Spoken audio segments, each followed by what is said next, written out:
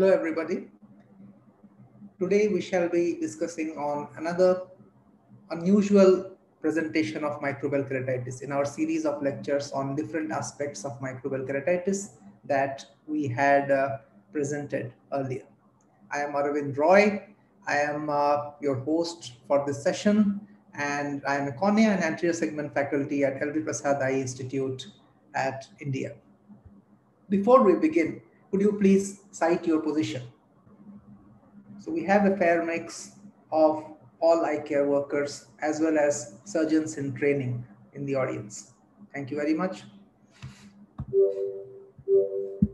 Microbial keratitis is a leading cause of corneal blindness and it is a significant cause of ocular morbidity, especially in Africa and Southeast Asia.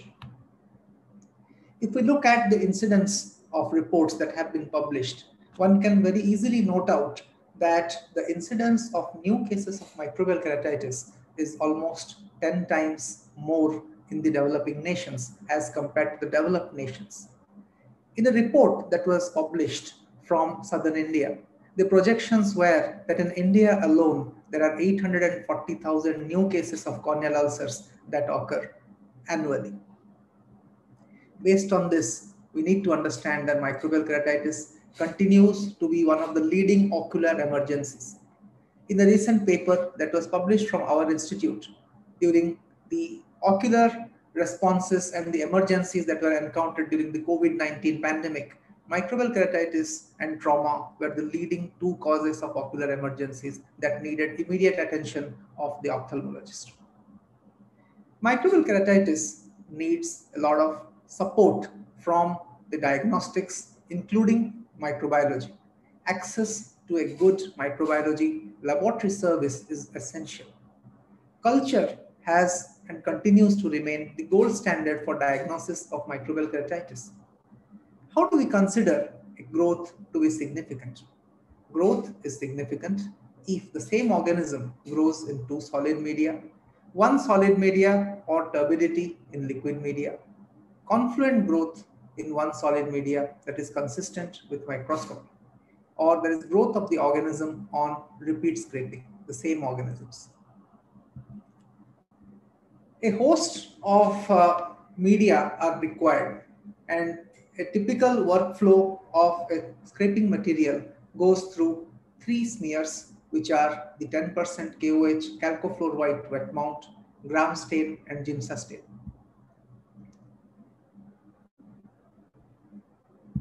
So not only that, but there are also several other solid and liquid media and slants that one needs to take into consideration for inoculating the material.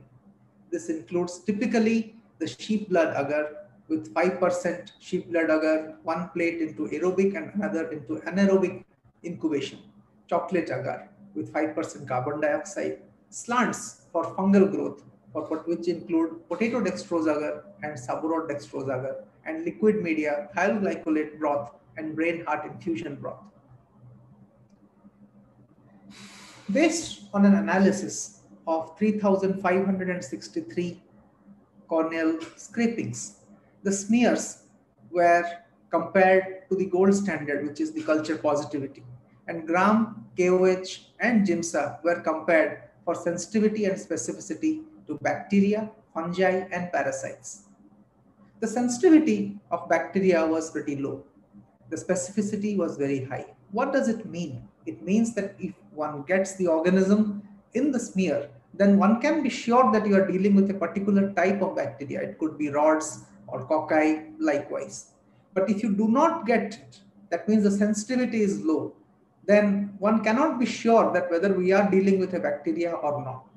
But that is not the case for fungi and parasites because the sensitivity and specificity is pretty much higher. And it is even higher if we compare the specificity and sensitivity for the KOH calcofluor wet mount.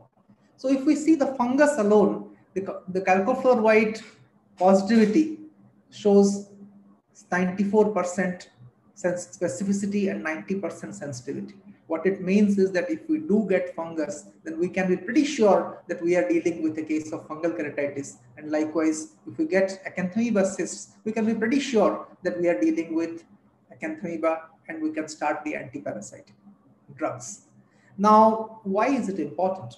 Because fungi and parasites can have chronic infection and often they need specific treatment for longer durations of time. Therefore, one should not blindly start antifungal or antiparasitic without a definitive evidence. And the most simplest and definitive evidence is a 10% KOH wet mount, which can be put up in any simple uh, place and, and, and it can be a very good uh, accessory to a cornea service. So based on this, the treatment paradigms are that because most incidence studies on microbial keratitis have found that bacteria are the commonest cause of keratitis, one should start with an empirical broad spectrum treatment. When I mean empirical broad spectrum treatment, we mean that we should start with an antibiotic which has a wide range of coverage against gram positive and gram negative organisms. This includes fortified organisms, fortified antibiotics, which could be ciprofloxacin, vancomycin, aminoglycosides, or a combination of these. The most typical combination that we use is fortified cefazolin or fortified vancomycin with ciprofloxacin, which gives us a wide coverage for gram-positive and gram-negative organisms. And when we encounter fungi or acanthamoeba, then we start the treatment with 5% natamycin or we start with chlorhexidine or polyhexamethyl biguanide in case of acanthamoeba. In addition to microbiology, confocal microscopy is a big aid to the corneal diagnostics. The confocal is based on the principle of a common focal point of the observer and the illumination arms. Most of the illumination that or the magnification that can be noted in ophthalmic diagnostic systems is limited to about 40x, meaning that if we enlarge the images, then we'll just end up with big and blurry images. Whereas the confocal, by adjusting the focal length, can increase the axial illumination and the magnification in such a manner that the resolution can be up to 1 to 2 microns. The normal slit lamp gives you a resolution up to a maximum of 20 microns, whereas the confocal can give up to 1 to 2 microns axially and laterally it gives a resolution of up to 5 to 10 microns. That gives us the advantage of detecting in vivo in the cornea fungi, parasites and other pathologies. But before we understand pathology, it's very important to understand the normal corneal physiology. The anterior stroma typically has elongated nuclei. There are activated keratocytes, nerve fibers. The posterior stroma is comparatively less cellular. And the endothelium presents as a monolayer of hexagonal or polygonal cells. The maximum intensity is in the cell body. The margins are dark, well defined, and the nuclei are usually not seen. Subepithelial plexuses can be below the Bowman's or they can be above the Bowman's. And they are typically consisting of wavy, beaded, branched nerve fibers in the diameter of 3 to 7 microns. The stromal nerves appear to pierce through the stroma. They are linear, they have V or Y-shaped branching. They are usually much thicker in the range of 10 to 15 microns. Fungi can present as irregular, branched, reflective double wall filaments. They have irregular branching and they are typically in bunches. So this is the characteristic picture of a fungal filament in the corneal stroma. The bacterial keratitis is characterized by plenty of activated keratocytes and infiltration with leukocytes and Langerhans cells. Bacteria typically are not visualized. Fungal keratitis has filaments and viral keratitis is characterized by ovoid dendritic cells at the level of the subepithelial layer. These are typically not visualized in the slit lamp. Acanthamoeba presents as highly reflective double wall round particles. They have a diameter of 10 to 20 microns the inner wall typically has an hexagonal configuration. These are pointers that perhaps we are dealing with acanthamoeba cysts and not just something which is an artifact. So with this, let's come to the question that what would be true for confocal except? Okay, so as we discussed that tandem and slit scanning techniques may be used to image. So that's true for confocal.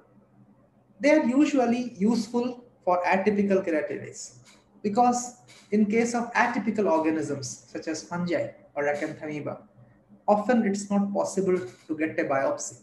And in these cases, in real time, the confocal helps in imaging. And if the confocal is positive, then one can be reasonably sure that we are dealing with these atypical or unusual organisms. Bacteria could not be visualized. And in addition to all of this, the confocal is usually helpful to get the pachymetry as well as to measure the endothelial cell density. Therefore, the confocal can certainly help you get a measure of the pachy and the cell density.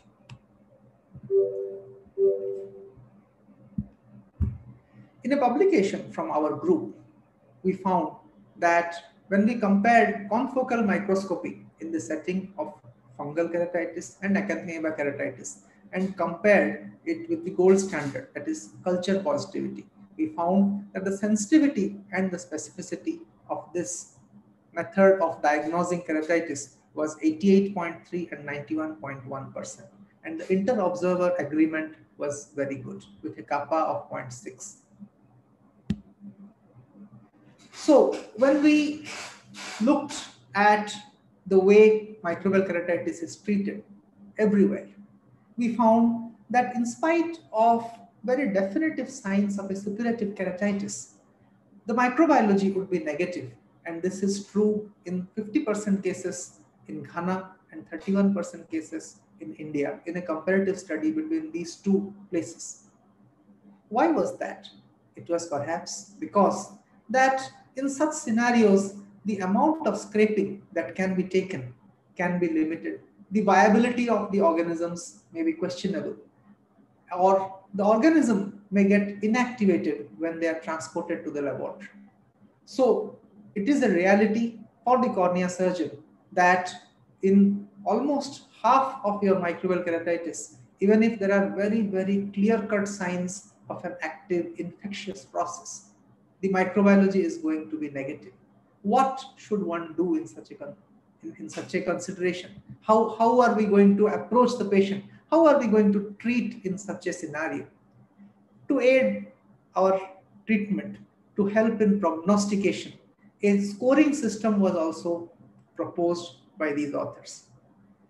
This was true for fungal keratitis, and they also issued a caveat that perhaps one should use the scoring system in those areas or those regions of the world where fungal keratitis is common. So they found that the odds ratio for say certain typical features of fungal keratitis, such as serrated ill-defined margins, erased slough, a dry texture of the slough, or a color which is not typically yellow, but a typical color of the infiltrate can have a higher odds of the keratitis, presumably being of fungal etiology. And this, they also very specifically mentioned in the paper, would be true for those regions of the world where fungal keratitis is common. And that would be Southeast Asia, India, Africa, South Florida. But it may not be true in temperate climate such as the United Kingdom.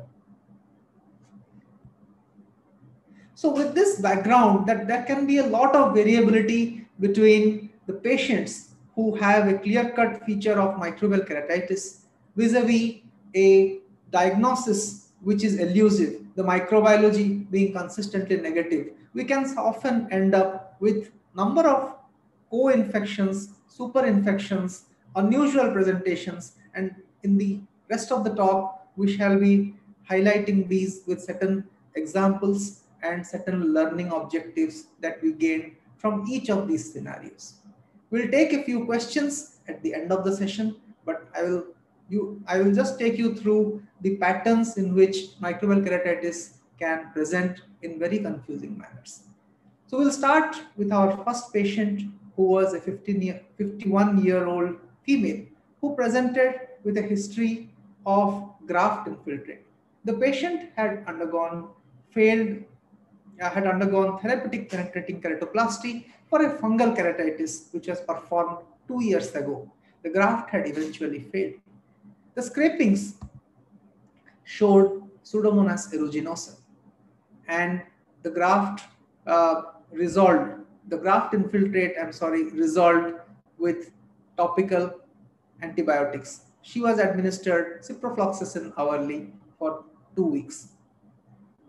However, the graft surface had a scar, two quadrants of vascularization, and had a generally poor surface. This was the background for the subsequent infection, which was very interesting. She presented after one year. She was maintained on topical lubricants and a low potency topical corticosteroid. She presented with a five days history of irritation in her right eye. There was a small area of opacity. So what are the features that alerted us that this could perhaps be infection? Number one, there was some mild irritation, non-specific history, and a poor surface.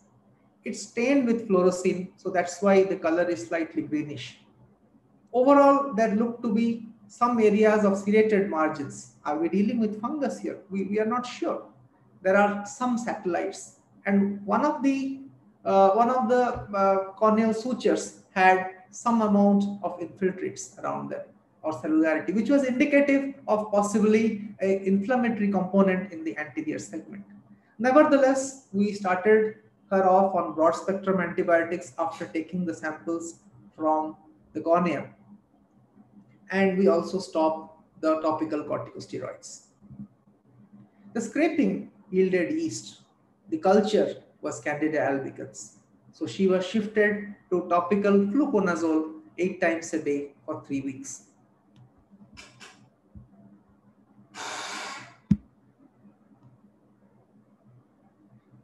Okay, so there are some questions from the participants, but uh, let us take the questions once we finish the cases.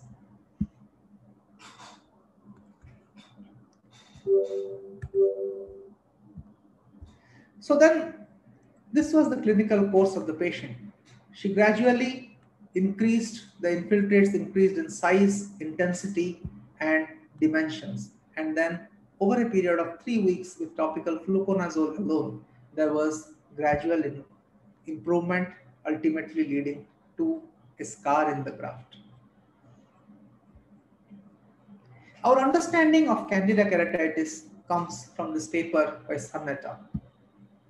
Candida species are typically opportunists that can occasionally complicate a chronic keratopathy, including corneal grafts.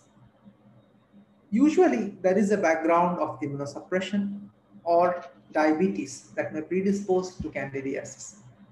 They can be misdiagnosed and in, fact, in fact, if they do not respond to medical treatment, they may require a penetrating keratoplasty. The demographics of this study found in this paper found that most of the patients had an ocular surface disorder, a chronic keratopathy, or a toxicity. Usually, there was a background of pre-treatment with corticosteroids or antibacterial agents. They were often misdiagnosed as bacterial keratitis. And Candida albicans was the most commonly isolated organism. This is another very interesting scenario. I'm sure all of us would have seen this in the cornea clinic. Peripheral ulcerative keratitis is another corneal emergency there is a progressive crescentic shaped ulceration of the peripheral cornea. It could be due to several causes, which can be broadly categorized into non-infectious and infectious. The infectious causes could be viral, bacterial, fungal. In fact, there are myriad causes that might cause a peripheral crescentic lesion. And when there is an immune mediated peripheral ulcerative keratitis. Even those can be secondarily contaminated by microorganisms, including the patient's own microflora. The typical features are a infiltrate with signs of inflammation, as can be very obvious in this picture. But sometimes it's not so obvious. In a 66 year old male who was a laborer, presented with a 10 day history of trauma, following which there was pain and redness. The clinical picture was that of a peripheral ulcerative keratitis. There were some areas of cellularity and some areas of thinning of the cornea. Because there was a clear-cut history of injury, we withheld the steroids and gave the patient an empirical broad spectrum antibiotic regimen. The patient did not improve, but he did not worsen either. And the infiltrates continued to remain as such. They were very minimal and not really amenable to scraping. In view of the progressive crescentic thinning of the peripheral cornea, he was advised a conjunctival resection with tissue adhesives and bandage contact lens application. And then usually in these cases, we prescribe a topical corticosteroid, which is usually 1% prednisolone acetate. And when the patient presented after one month, this was the clinical picture. There was obviously a superinfection here and there was a florid infection with a lot of corneal melt involving the entire inferior cornea. There was dense hypopyon. And this kind of a melt is usually typical of a very aggressive organism. And in these cases, usually we suspect that it could be either Pseudomonas or any other gram-negative bacteria. And true to our suspicions, the scrapings indeed yielded GNB. And the culture was Pseudomonas pure and significant growth.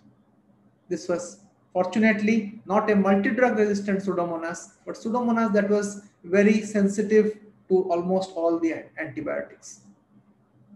So the patient was continued with ciprofloxacin, steroids were stopped, and the patient eventually resolved with scarring. Often, peripheral ulcerative keratitis can have a scleral component as well. And it's important to make the distinction between infectious and non-infectious etiology. The pointers towards an infectious etiology is pus pointing, involvement of adjacent areas. Sometimes there might be satellite nodular-like lesions, cellularity, infiltrates, and anterior chamber reaction, including hypopyon. All of these point that we are perhaps dealing with infection and not purely an immune-mediated lesion of the cornea anterior segment or the adjacent sclera.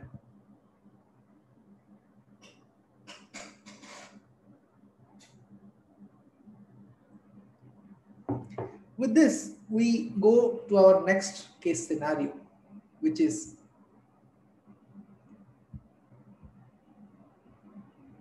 a 44 year old agricultural worker who presented with a history of a fall of foreign body with watering and pain since the last 10 days. He was prescribed topical moxifloxacin and ciprofloxacin eye ointment at bedtime. When we examined the lesion, it appeared as a raised, dry appearing slough with ill-defined margins. There were some areas of pigmentation over the corneal ulcer. The peripheral cornea had a lot of corneal edema and Descemet's membrane fold and there was a 1 to 1.5 millimeter of hypopyon in the anterior chamber. The scraping yielded septate hyaline filamentous fungus, but the culture yielded presence of two fungi and one of which was Dematiaceous fungus. So if we look at the clinical picture, there is the faint pigmentation that is there. Pigments in the setting of a dry, rough appearing infiltrate, which was suggestive of a fungal keratitis, are a pointer towards Dematiaceous fungus. Dematiaceous fungus cause macroscopic pigmentation of the ulcers and usually they need to be treated aggressively. The first line of treatment is natamycin. The patient was eventually lost to follow up, but when he presented back almost after a year during the lockdown last year, he had healed well and the cornea was scarred. So what is true in the management of Dematiaceous fungus? So usually voriconazole is not the first line of treatment. The first line of treatment is natamycin. But it's true that while they respond well to management, they may need surgical management and there is a poor visual prognosis in case they do not respond. As you can see in this picture, this is the clinical picture of a Dematiaceous fungus where there is almost a florid microscopic pigmentation. This doesn't belong to the previous patient, but this belongs to another patient and I have put it for representative purposes, that this is how the ulcers appear. It appears as if there is a perforation in the cornea with entire uveal prolapse or there's a lot of uveal pigments on the surface, but actually this is just a plaque and it is heavily pigmented because of the Dematiaceous fungi. So our experience has been published both from South and North India and our paper on uh, keratomycosis was published earlier in 2000 uh, in the journal Ophthalmology. Sengupta et al. have also published their experience from South India in a recent paper in 2011 and they have compared our study as well as two studies from Western literature. All in all, in summary, these papers found that Curvularia is the commonest Dematiaceous fungus. The study by Sengupta et al. Showed that they were dealing with much severe ulcers, the average size of which was 10.5 square millimeters. Therefore, the presenting visual acuity was less than 2400 in 80% of patients. Macroscopic pigmentation was found in 14% in their study, whereas in our study from LVPI, we found that in 27% of patients. The final visual acuity was not studied in our series, but it was better than 2040 in all the Western studies in that ranged from 44 to 78%. However, it was lower in the Sengupta et al. studies, probably because they were dealing with more severe mycosis. 48% of their ulcers healed as compared to 81 and 72% in the other studies. Penetrating keratoplasty was required in 15% in our series and 8.6% in the same Sengupta study. Evisceration was required in 9 to 11%. So all in all, natamycin is the first line of treatment and Curvularia is the commonest species. It does present with macroscopic pigmentation. It responds well, but in 10% of cases, it may require a penetrating keratoplasty, superficial keratectomy, or even evisceration.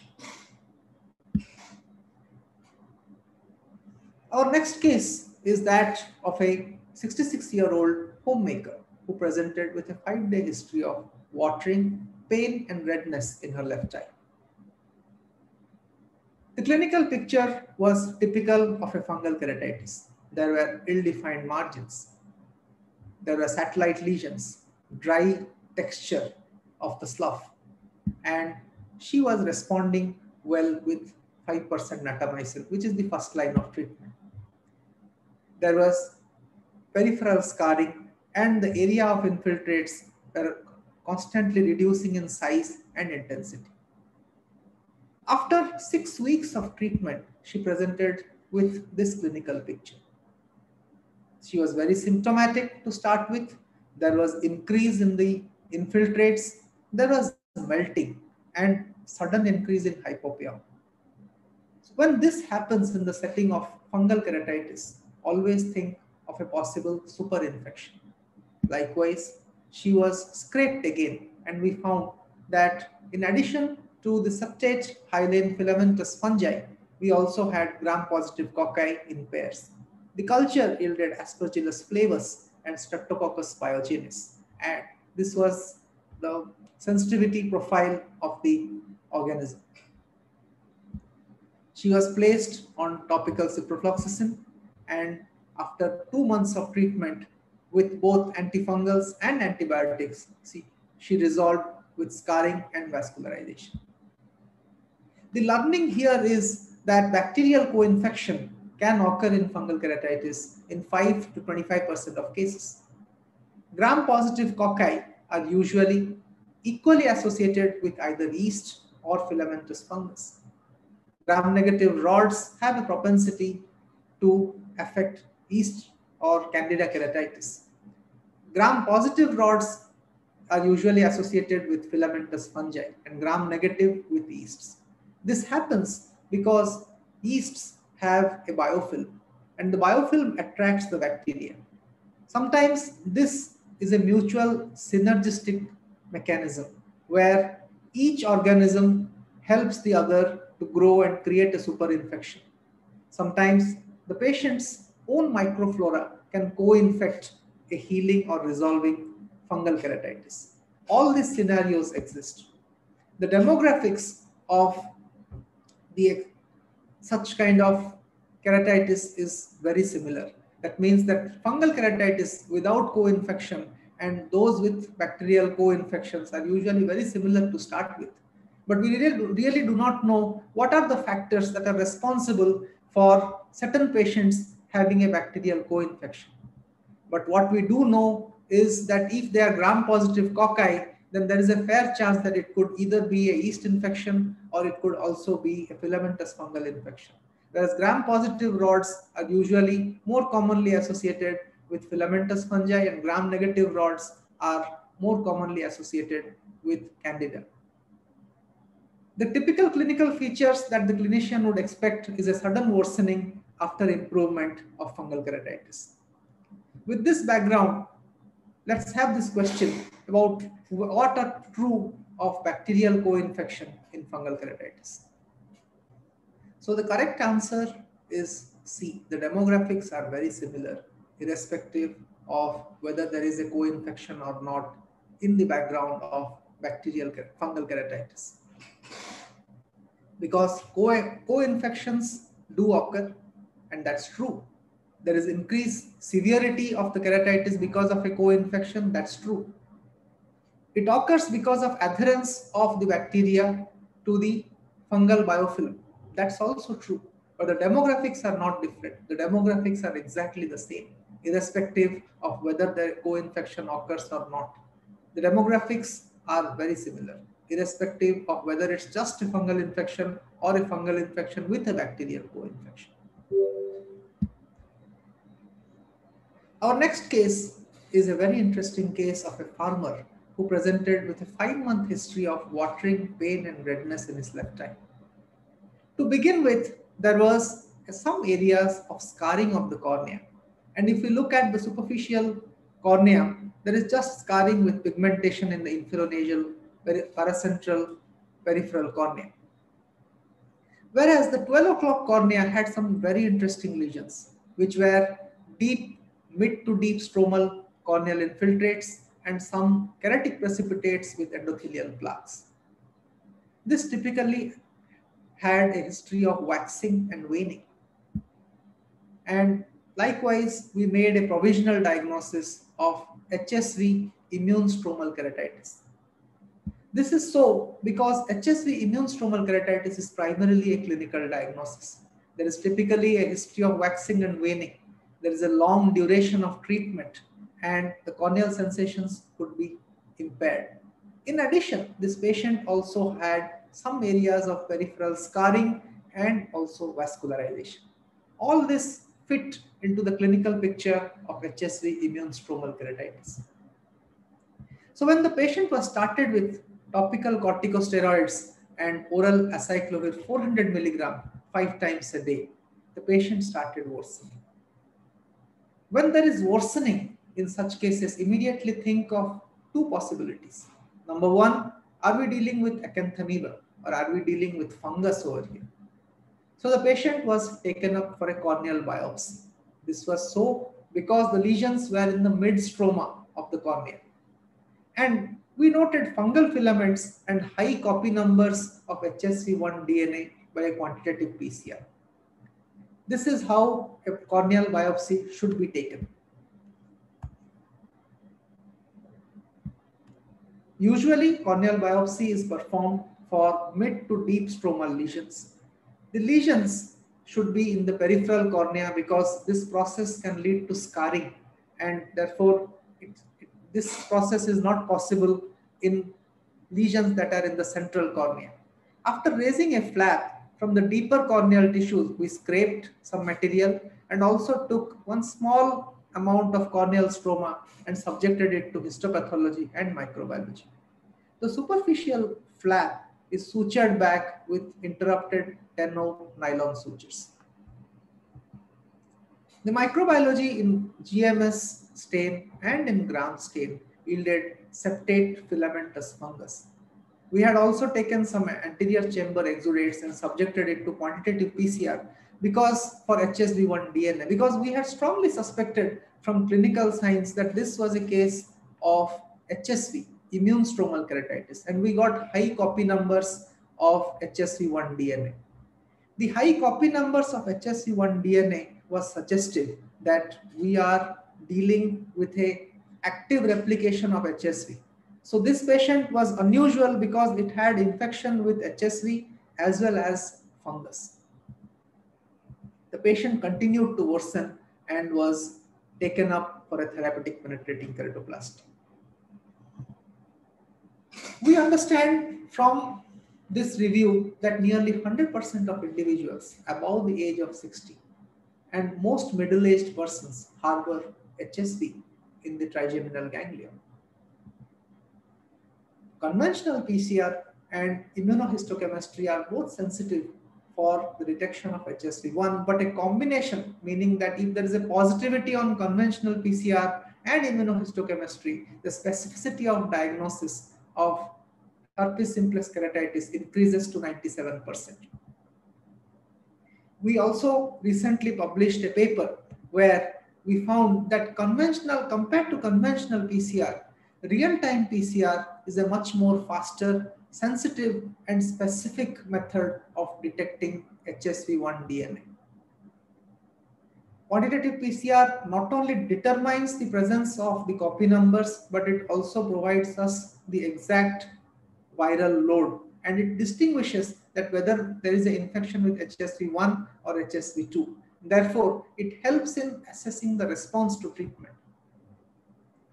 Patients who have high viral loads, meaning larger amounts of copy numbers, suggest that the disease is increasing in severity and probably it may have a poorer prognosis. Dual infection with HSV1 and 2 have also been described. And the kind of virus which has the lower copy number is usually competed out. Co-infection can occur as we saw in this case with either fungi or bacteria. And when such a scenario occurs, then one needs to treat for them in addition to treatment for the HSV. Our next case is that of a 38 year old homemaker. She presented with 10 day history of watering, pain and redness. There was a dry appearing raised slough in the central cornea. There was a peripheral guttering. There were ill-defined margins. No obvious satellites, but it certainly had dot-like infiltrates around the entire central lesion. This picture is very characteristic and should alert the surgeon about a possible Pythium insidiosum keratitis. The smear and culture yielded Pythium. Pythium is often confused with fungal keratitis. This is because they have septate filamentous bands which are seen in the calcofluor white KOH wet mounts as seen in this figure. However, they are very scantily septate or usually aseptate. They have ribbon-like folds and often they have 90 degree branchings. So a flat ribbon-like scantily septate aseptate filaments with 90 degree branchings should alert the physician about a possible pythium infection. It grows in chocolate agar as flat glabrous or oily, colorless colonies. The definitive diagnosis for pythium is by demonstrating zoospore formation or by DNA analysis by PCR using genes which are for the internal transcriber region of the ribosomal DNA. So the patient was started with linezolid and azithromycin. The patient continued to worsen on this treatment and ultimately she had a large central corneal perforation. The patient was taken up for therapeutic penetrating keratoplasty. Keratoplasty is very challenging in the scenario of Pythium insidiosum keratitis. This is because there is a very high incidence of recurrence of Pythium after keratoplasty, which is because the lesions can actually extend much farther into the peripheral cornea than what can be observed on the naked eye. What is recommended and with our experience, we have also known that one needs to take a large margin clearance of at least one millimeter all round so that we do not inadvertently include any tissue that might be infected with the infiltrates and thereby leading behind a area of infection which may lead to recurrence post keratoplasty. Fortunately, there was no recurrence because this was entirely a corneal lesion and we could take a very healthy margin of one millimeter on either side. And she ended up with a clear graft that remained clear for six months until she had an episode of acute graft rejection, following which the graft failed. After six months, very recently, about two weeks earlier, we performed optical penetrating keratoplasty and cataract extraction with IOL implantation for this patient. After two weeks of the second transplant, the patient is doing well with 20/80 vision. Our understanding of pythium keratitis comes from the paper that was published earlier from our group.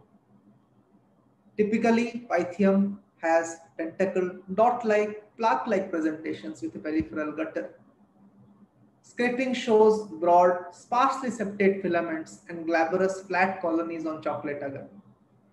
DNA sequencing to the internal transcriber region of ribosomal DNA and zoospore formation are confirmatory of Pythium. The response is better to antibacterials such as tigecycline, azithromycin, linezolid, or macrolides there is a consistent poor response to therapeutic penetrating keratoplasty and often the grafts fail or worse, they may have recurrence which may lead to evisceration or phthisis. Our next case is that of a 55-year-old farmer who presented with a three-week history of watering, pain, and redness. The scrapings were negative as he was perforating we performed a tissue adhesive and bandage contact lens. Some anterior chamber exudates were also taken and the patient was started on broad spectrum antibiotics. The AC exudates yielded septate fungal filaments, but the real-time PCR also showed that there were 8,239 copy numbers of HSV1 DNA. This was a very rare scenario when there was co-infection with active HSV with fungus. Likewise, the patient was started with therapeutic doses of oral acyclovir, 400 milligram, five times a day for eight weeks, and hourly natamycin. Eventually, over a two-month period, the infiltrates started resolving until the patient scarred. Once the scarring started and we were sure that there were no residual infiltrates, topical corticosteroids, which was 1% prednisolone acetate, was started in these cases. Fungal keratitis with HSV co-infection is very rare. Unless one has a very high index of suspicion, one is usually going to miss such cases. In advanced lesions, like in this case, clinical features might be quite undistinguishable. Quantitative PCR where available is confirmatory and combination therapy usually for long duration. By long, I mean at least eight weeks or more of treatment is required. There is a need for topical steroids to control the inflammation, but one should be very cautious in its use after ensuring that all the fungal infection has subsided, or it will lead to explosive recurrence in such cases. Our last case for the evening is that of a 61 year old homemaker who presented with a five-day history of watering, pain, and redness. She was a patient who was having a typical feature of fungal keratitis.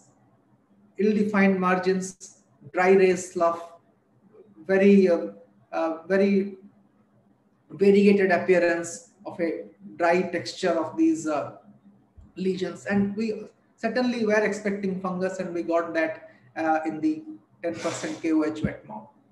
And she also resolved rapidly with 5% natamycin. After one month of treatment, she presented with a lot of pain and watering in, in her eyes. When we inverted the lids, the upper and lower tarsal conjunctiva was, was like this. There were a lot of papillary responses, a lot of congestion, and at the same time, the patient was beautifully responding. The, the, the infiltrate was, was, uh, was just, just about over. There was, there was just a bit faint scarring in the cornea. What's happening here? What's wrong? Clearly, these are signs of drug toxicity, meaning that the toxicity could be due to the preservative in the drugs, or this could be due to the active drug molecule, which was natamycin. It could be due to the cyclopentolate or the atropine as well.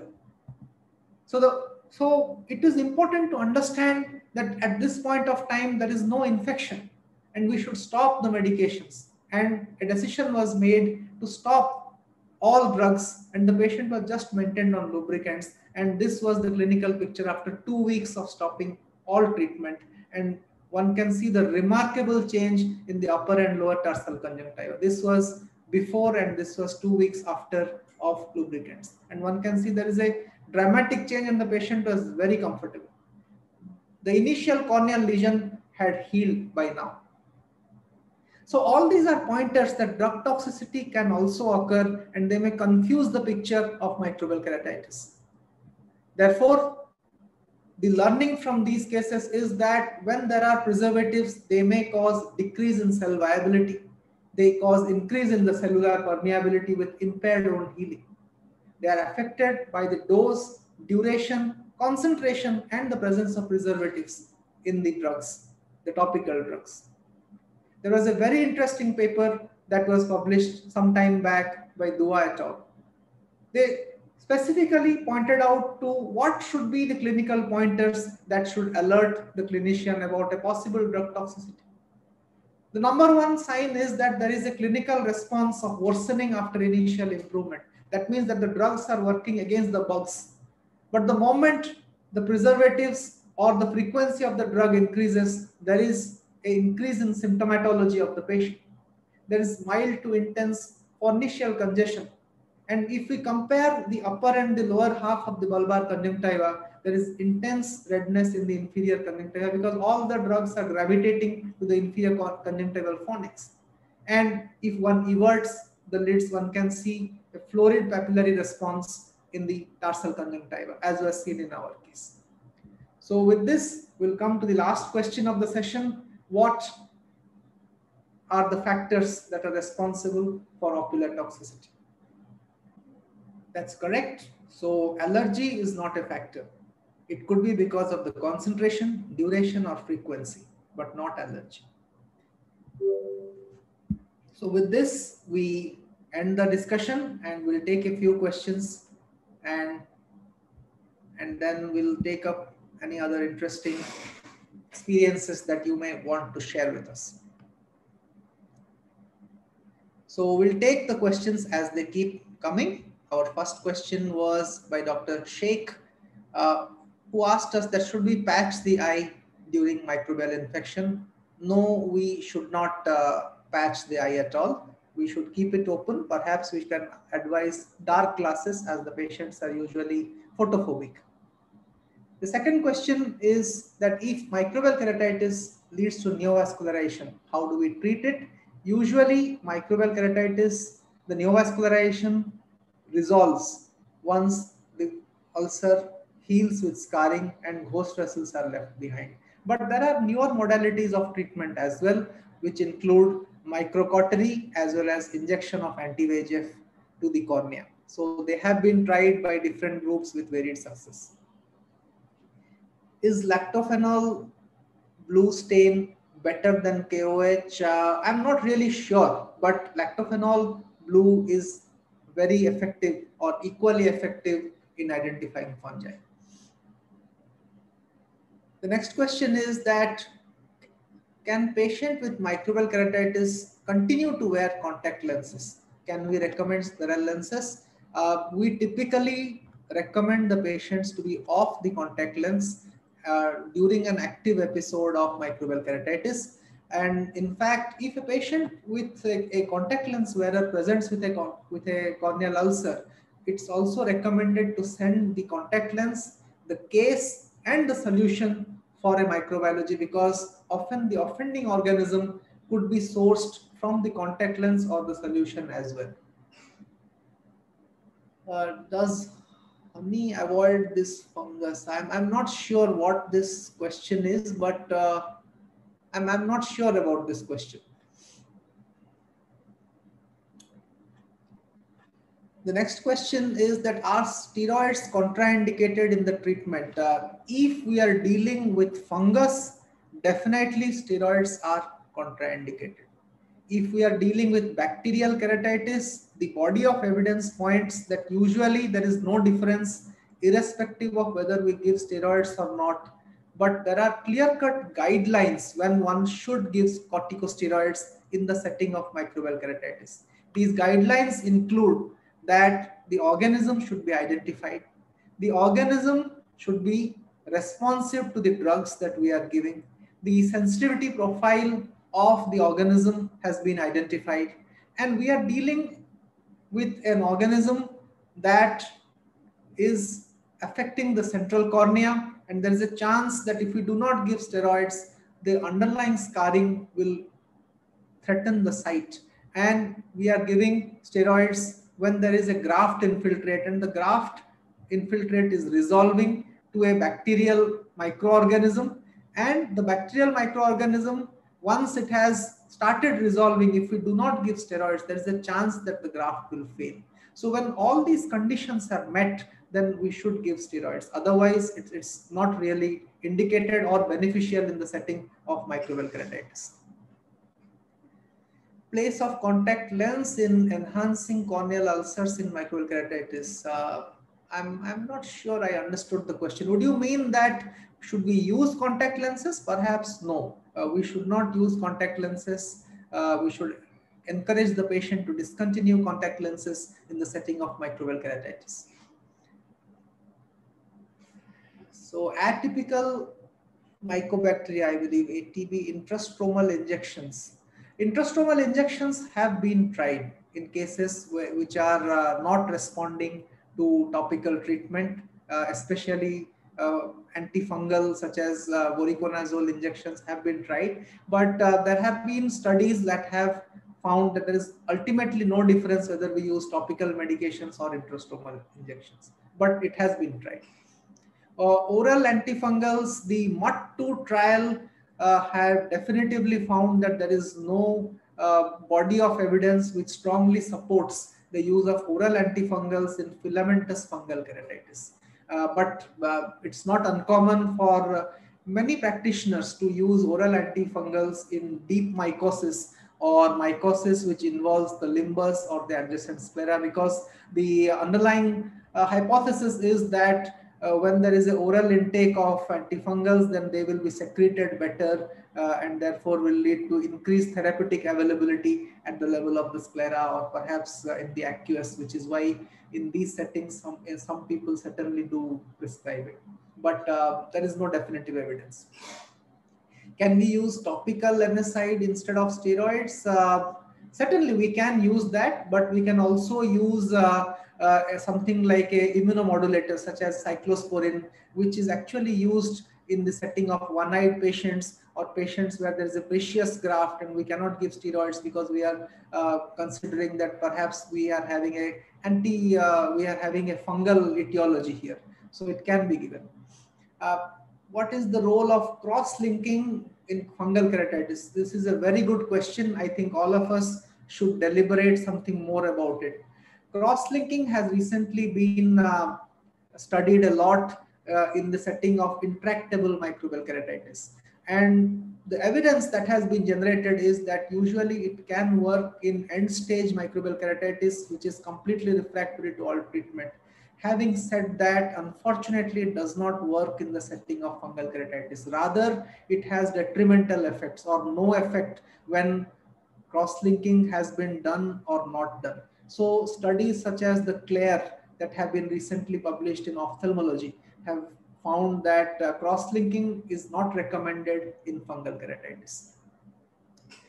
The major treatment for bacterial keratitis, it is completely based on the microbiology. So one has to start with an empirical broad spectrum treatment and that treatment should cover both anti uh, gram positive and gram negative organisms. But once that has been achieved, then one should switch over to a type of antibiotic against which a sensitivity profile has been mapped and specifically one should treat the patient for those, those antibiotics to which the organism is sensitive.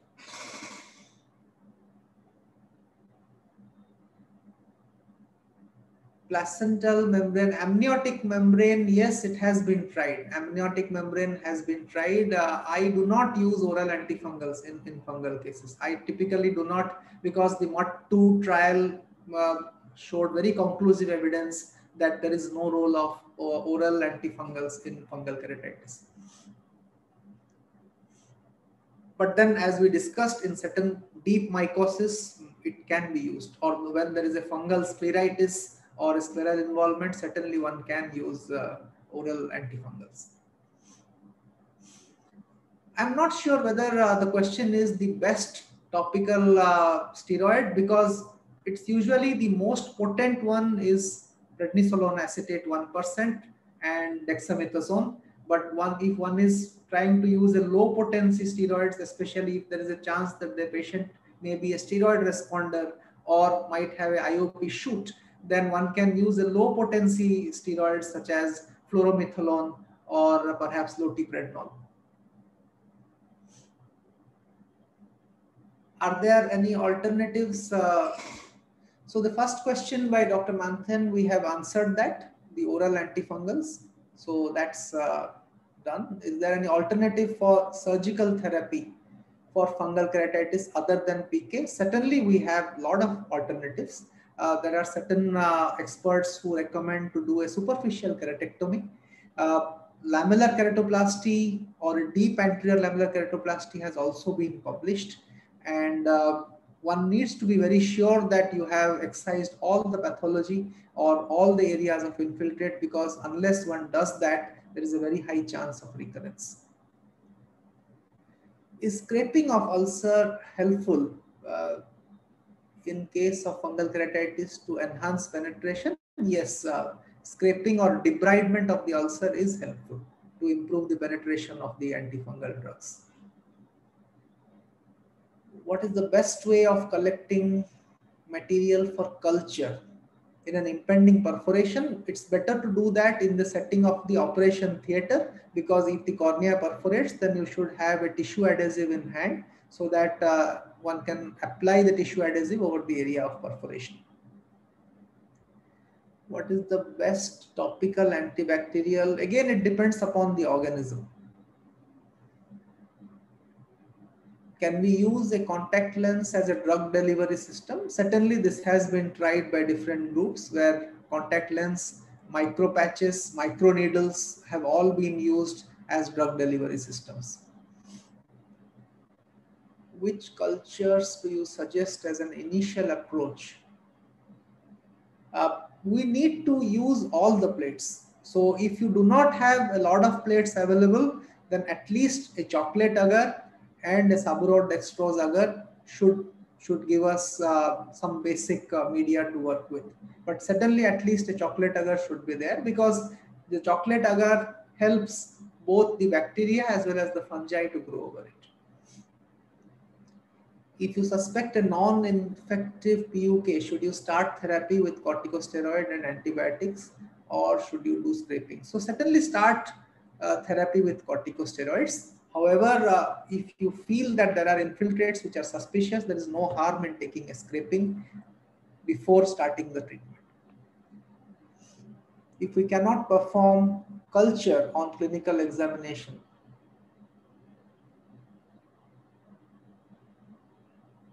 um, I'm not sure I understood the question.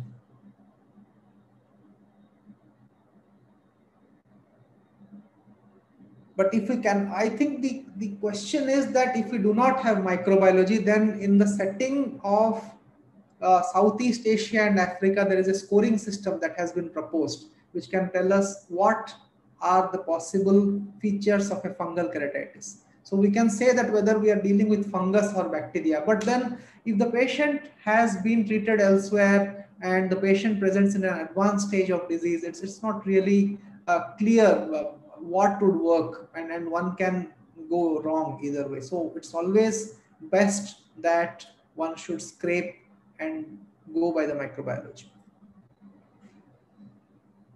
For topical antifungal choices, natamycin and voriconazole. Yeah, natamycin and voriconazole, out of that, the MUTT1 trial have definitively found that natamycin 5% is the better molecule. Now, having said that, fluconazole is typically reserved for candida keratitis. So for filamentous fungal keratitis, one has to prefer natamycin as that is the better molecule. Is there any role of topical betadine? Not really sure. It is a disinfectant, but uh, for therapeutic uh, use, it will have a lot of irritation on the ocular surface.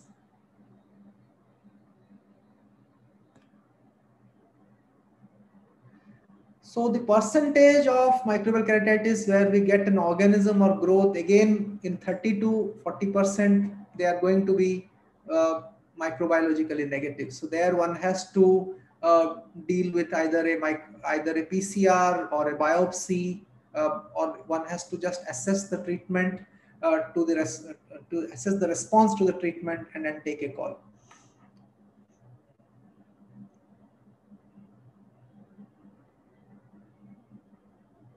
bandage contact lens during treatment is required if a tissue adhesive is placed on the cornea because the tissue adhesive will irritate the tarsal conjunctiva. So bandage contact lens certainly will be required. But otherwise a routine bandage, bandage contact lens is not required. In fact, we should uh, avoid any contact lens wear so that there is better access of the drugs to the area of infiltrate.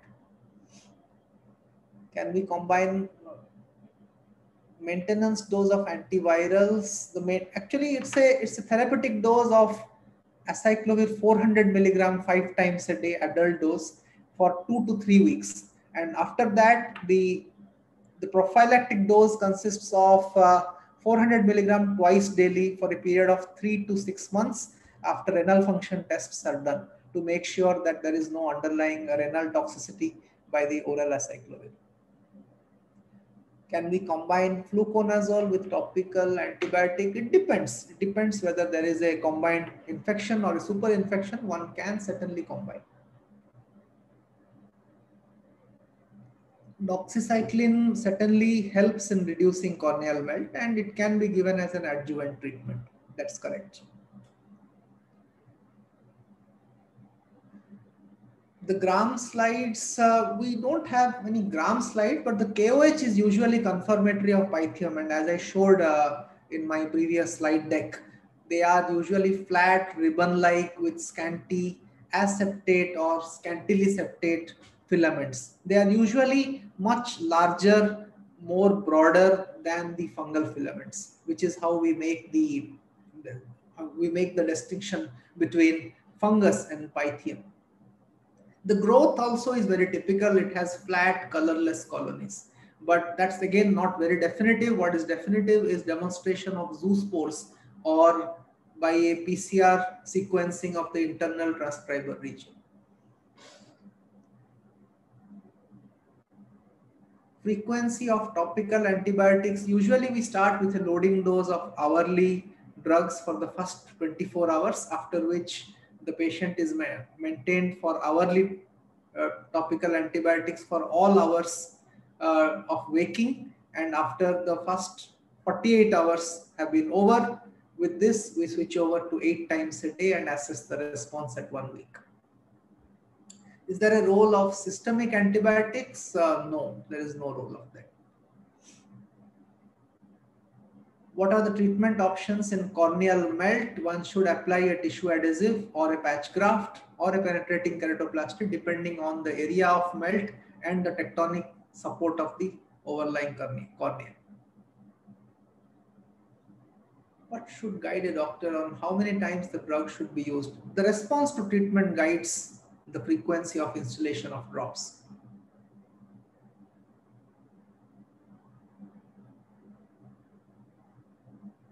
Ocular toxicity is certainly suitable for MK once the features of toxicity subside.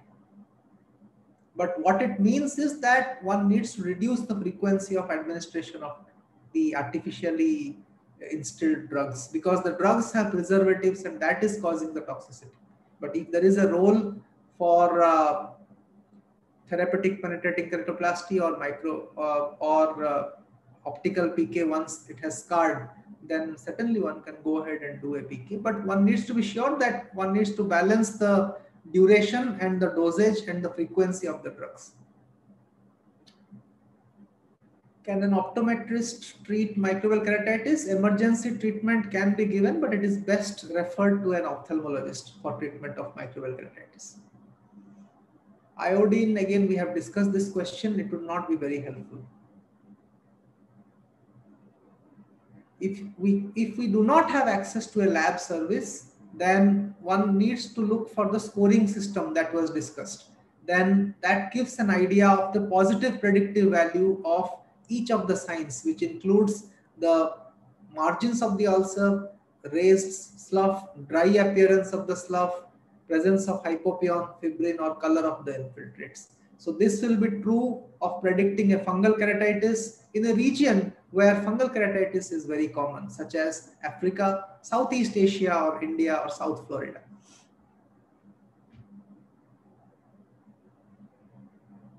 Emergency PK needs to be done in the setting of a ulcer that is worsening on maximal treatment, medical treatment, or if there is a corneal melt, there is a perforation, there is a extension to the corneal limbus or involvement of the adjacent sclera. In a progressive PUK, would not topical steroids increase the risk of perforation? Yes, it would. Therefore, we need to understand that this is a immune mediated mechanism. Therefore, we need to balance the pro with the anti-inflammatory factors over here. And for tectonic support, usually a conjunctival resection with tissue adhesive is done prior to starting steroids. One should watch these cases because they can get super infected with uh, bacteria or other organisms, in which case one has to stop the steroids, do the microbiology and treat as per the etiology.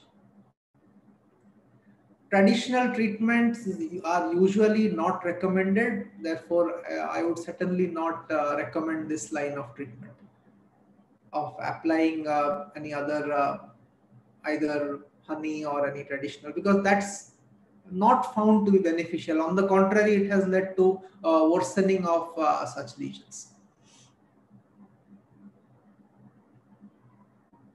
Usually the first line of treatment for fungus is 5% natamycin and for bacterial keratitis one needs to start with a broad spectrum empirical uh, treatment which include fortified uh, aminoglycosides or fortified cefazolin with uh, a fluoroquinolone which is ciprofloxacin.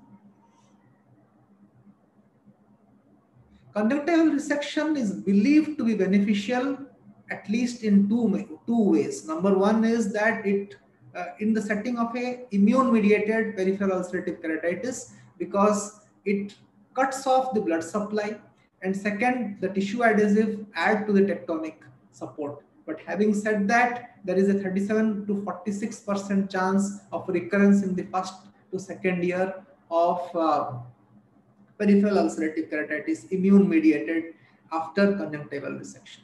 So yes, it has benefit, but then it's not totally foolproof either. Uh, I'm not sure about the question of plants fighting the fungus.